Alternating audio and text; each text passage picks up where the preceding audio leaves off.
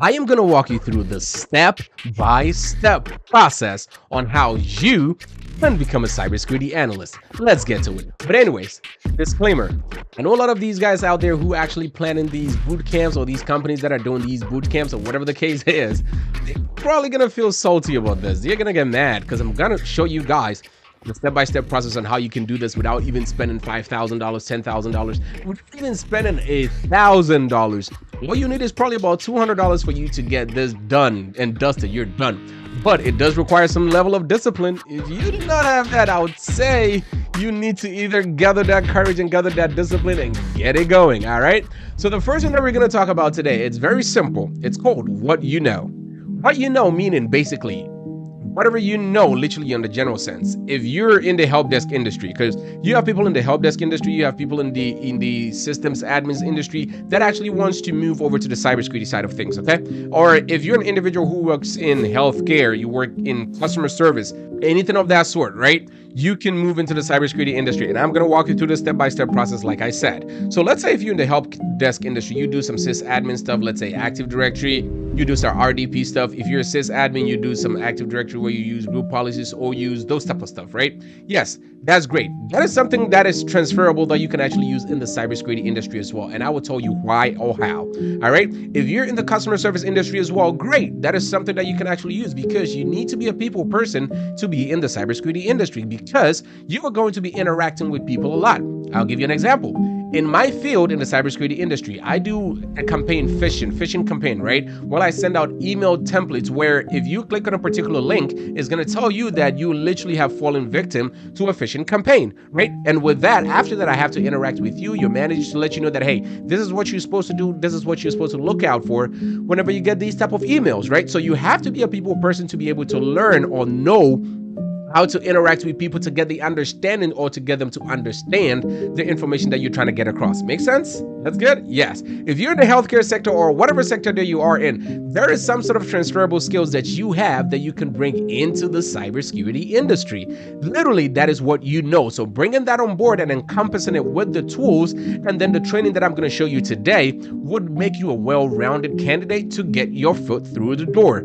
Next one that we're going to talk about today is what most people spend a lot of money on, which would be the boot camps, the learning, whatever the case is. Most of the time when you go on YouTube and you type in cybersecurity, there are so many resources out there. But then if you're an individual that wants to get in the first time, it becomes confusing, right? You actually want to get into a point where you know I'm going to study this and then study that and then study this and I know I'm good, right? That's step by step process. That's what I'm going to show you today. Don't worry about that. So, when it comes to the training part, which is the point two, training. When it comes to the training part, there's a couple of things that I want you to focus on. Forget all the YouTube stuff, forget everything. Just take it out of your mind and follow these steps that I'm going to show you. First training that I want you to take is on Coursera.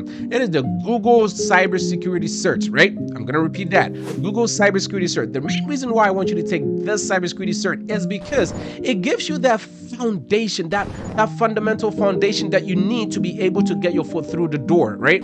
And might probably holds a little bit, but with this one, it would actually give you that foundation because it will take you through vulnerability management. It will take you through how to utilize Python in your cybersecurity world. It will take you through how to utilize SQL in there. It will take you through how to utilize some uh, um, vulnerability management tools on there to make sure that it's giving you that foundation, that fundamentals. Because every single thing you do, any career that you choose in your life, believe me or not, you need some sort of foundation to make sure that you're actually you know, good when you start the job. You're not like all blank and not knowing what's going on, okay? So the first one would be the Google uh, Cybersecurity Cert. The next one would be the Microsoft Cybersecurity Cert. The reason why I included this one in there is mainly because it actually dive a lot deeper when it comes to the Microsoft ecosystem, right? Which is the uh, Microsoft 365, the, the the security Sentinel, all that stuff. So all those same tools and all these EDR tools that Microsoft is actually going to show you would be very beneficial to you depending on the career path that you choose in your cybersecurity journey, okay? It's a specific career that you have to choose after you do all this. You can't just say, I studied all this and then I'm a cybersecurity expert. No, you have to choose a specific career path as to if you want to be a SOC analyst, you want to be an RMF, you want to be a cybersecurity engineer, you want to be a cybersecurity, and you know, all those stuff. There's a lot of stuff that you can do when you study all this, okay? So first one will be the Google cert, the next one will be the Microsoft cert. And I'm going to keep links in the description below. So make sure that you are actually following this as well. Okay. Next one is you have to subscribe to this channel. I don't know why you're looking at me. I'm giving you great information. You have not subscribed. Please subscribe to the channel and hit the bell notification. And if I upload new videos, you would get these notifications as well. But the next one that I'm actually going to talk about is the fact that you have to utilize the resources, the free resources, which is YouTube, right? YouTube has literally tons, millions of resources on that platform. And the main reason why I brought YouTube to third is because you have to understand the fundamentals. first. like I said, you have to understand by actually studying with the Google cert and also the Microsoft cert. Once they give you that fundamentals, then you would actually know what you actually want to specifically study. Does that make sense? Because you can't just go on YouTube and just type in cybersecurity and then start studying from there. No, it doesn't work that way, right? Once you get that understanding with the Active Directory, the OUs, uh, group policies, uh, uh, um, the Microsoft 365, Sentinels, CrowdStrike, all all that stuff then you would actually come on YouTube because then, okay, you need specific more information about a specific topic or a specific subject. Then you come on YouTube, type in, let's say, I want to study more about CrowdStrike, or I want to learn more about Mimecast or Mimecast, basically, and then it would go a lot more deeper as to the videos that other people have done. Make sense? Make sense? Yeah. Okay. So once you take that foundation, then you can move on there. And the other resource that will actually show you to help you out a lot after you've taken all these courses this is literally the easiest one that I think you can actually do, or the first one you should even do before even becoming a cybersecurity expert, which is computer networking. And when I talk about computer networking, a lot of people look at me like, why? I could just take the Security Plus certification and I'm good. No, no, no, no, no, no. No, not the Security Plus, computer networking. The reason why I talk about computer networking is mainly because you have to understand how computers work for you to even be able to use it. You have to understand how these computers network with each other. So let's say if I type in facebook.com, what goes on behind the scenes for Facebook interface to actually come up for me to see facebook.com? You have to understand because if you do not understand the system in itself or how they interact with each other, then you would not be able to safeguard it right? You have to understand the process that goes through every system for you to be able to safeguard it. If you do not, then you'll be one you'll be in one bubble and not know what to do whenever you get on some sort of incident or whatever, right? You have to understand how these systems work. So, Udemy would be a great platform for you to learn computer networking. You can actually use YouTube as well because there are great resources on YouTube that you can actually learn from. And like I said, I will put some of these resources in the description below so you can actually learn and study from these ones. So, that is those for the training part. So with the training part, those are the points that I think you should follow or I know you should follow because I followed that part self-studying. And remember, like I said, it will take a lot of discipline and you should be ready to actually do this. If you are not ready, I would literally have want you to sit down, think about it if cybersecurity is really what you want to do. Because if you're not disciplined enough to sit down and study for at least two to three hours a day, then I don't know, right? Because you really have to be hungry for this career field. If you're not hungry for it, it becomes very difficult. So the next one that we're going to talk about, the next pointer. So we started with what you know, we started with it, and then we went over to the training. Now we're going to talk about the next pointer that is very important as well. That is the decision time. So after you've studied everything you need to study and followed all the procedures that I've actually shown you in the training section, then you need to make a decision. When I talk about making a decision, I'm talking about the career path that you want to take as a cybersecurity analyst. Either if you want to do the SOC analyst part, or if you want to do the cybersecurity analyst part, or if you want to do the RMF, because all of them you end up analyzing stuff, right? Now let's break it down. When I talk about the cybersecurity analyst, with the cybersecurity analyst, what you do is you do more of the front end stuff. Well, it depends on the company that you're working for. Some companies will have you do back end and front end. And I know a lot of you probably be thinking, what do you mean by front end, back end? Okay. Hmm. Now let me dive deeper. If you're a cybersecurity analyst, the front end stuff what you'll be doing is you'll be running the vulnerability management test, which you'd be using, let's say, Tenable Nessus.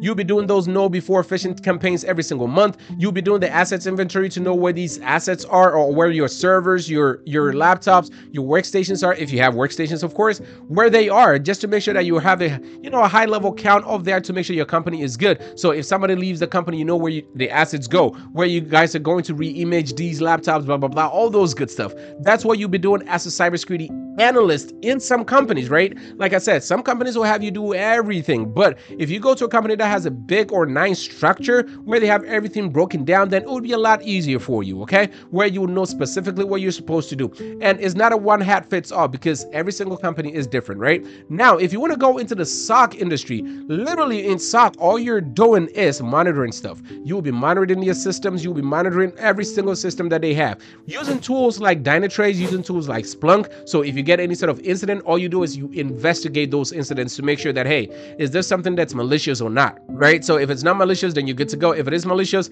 then, you know, you guys work on how to resolve it or how to do these patches or whatever the case is. Or if it is malicious, or if it's not malicious, you put it down as a false positive and you keep it going. Because sometimes it does happen, right? You get a lot of false positives. That does not mean that if you see everything, it is false positive. So that is literally what these SOC analysts they're doing, right? That's literally the monitoring. That is why it is 24 7. The monitoring throughout the year, like 365 days a year. All right. So from the SOC analyst, the next one that you can actually focus on if you do not want to do anything technical would be the risk management framework. So with the risk management framework, all you do on there literally is the fact that you're making sure that these companies are following the step-by-step policies and processes these government entities have put together for them to follow. Meaning it could be PCI DSS, it could be FedRAMP, it could be the FISMA, it could be the NIST. Literally, they're following every single step, like the, say the password, the access management, the asset management, every single thing that you're supposed to do is literally a list, right? It's a step-by-step list that they follow to make sure that they safeguard these companies. And most of the time, you have third parties that would come in to do this, uh, which would be you if you go that route, right? Or you could have a company where they have a lot of systems and they need you to do it. So when it comes to uh, them doing their policies or doing anything that has to do with policies that they pass, right? And they get that badge to let them know that they're compliant. Literally, that's all you would do. And it has nothing to, for you to do with anything being technical or anything of that sort. That's if you don't want to go the technical route, then that's another route that you could take as well. All right. So that is the decision time where you actually decide on what field that you want to get into. There are several numerous ones of them. So in the comment section, if you want to know more about any of the ones that I've spoken about, let me know and I will go more in depth or I will create a video about it to make it a lot easier for you to actually get into the industry as well. So the last one that we're going to talk about today that is one that every single individual or most people get comfortable with when they get into the cybersecurity industry. I don't know why, but it does happen, all right? And that leads to a lot of people losing their jobs. So the last one that we're going to talk about is continuous education. I know, I know, I know. Most people get comfortable when it gets to the cybersecurity industry because once they're in, they feel like, oh yeah, my company is going to be using this tool for forever. Yeah, no, they're not most of these tools become old-fashioned they become legacy tools so these companies try to improve every single day right? So let's say if we started with excel to do let's say pivot tables or whatever now companies are using tableau power bi and stuff. And those are going to go away very soon as well and other tools are going to come in. That's the same with cybersecurity. You have tools like arctic wolf you have tools like mimecast which is the email filtration. You have tools like KnowBe4 you have tools like canary wolf you have tools like cloudflare you have tools like sentinel you have tools like splunk. It keeps going on and on. It's so many of them right? And companies companies cannot literally use all of them. So there'll be specific different ones based on the budget that they can go with. And you as a cybersecurity analyst need to know these tools in and out because you're going to set it up and you're also going to make sure that you're monitoring whatever the system is doing on those tools, right? So you have to be willing to learn. You have to be willing to better yourself. And not even for your company, for you to be able to move or job skip, you know, job hop, whatever they call it, right? If you want to move to a new company, you have to learn the tools that they use, right? So you have to do uh, uh, um, some continuous education to better yourself to understand how these companies work because every company is different on what they do. Okay, so guys, this is the step-by-step process, and remember, this is not even going to cost you 200 bucks. You literally have to sign up for Coursera, and you're good. You need to sign up for Udemy, and you're good, and you buy two or three courses, and Udemy is running promotions every single day every single day. Just $200 and you're good. $200 will get you into the cybersecurity industry. And right after that, I am going to make a video on how to optimize your resume after you're done going through all these processes to make sure that you are getting in the field, okay? I do hope that I gave you some great gems today till I see you again. Stay blessed, be blessed, God bless. Peace.